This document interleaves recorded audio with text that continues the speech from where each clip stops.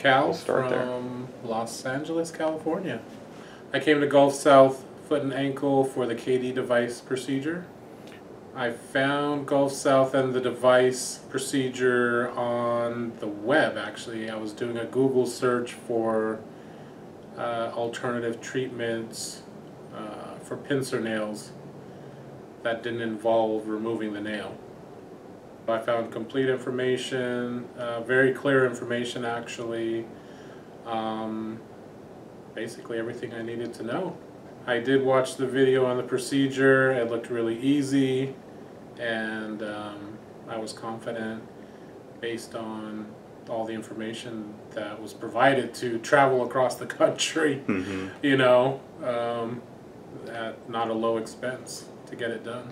I did contact Gulf South. Uh, I spoke with Katie. She walked us through everything. She stayed in contact with us. Um, she answered all of our questions. We had to reschedule. She took care of that. Um, just great, great service.